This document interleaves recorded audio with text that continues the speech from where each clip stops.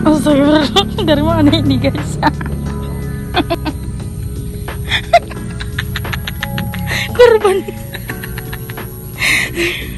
Bilang astagfirullah.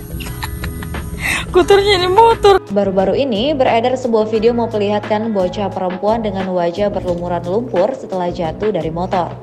Video tersebut berhasil menarik perhatian para warganet. Video itu diunggah oleh akun TikTok @bulbul1109 pada tanggal 27 Juni. Seorang pengunggah merekam kejadian seorang bocah perempuan mengenakan baju kuning setelah mengalami jatuh dari motor. Diduga bocah perempuan tersebut jatuh di persawahan. Bukannya langsung menolong, sang pengunggah langsung merekam momen tersebut sambil tertawa. Tampak sepeda motor tersebut dipenuhi lumpur.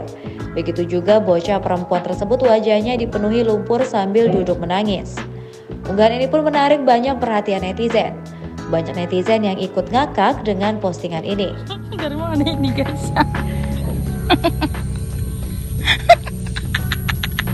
Korban. Mukanya astagfirullah. Kotornya ini motor.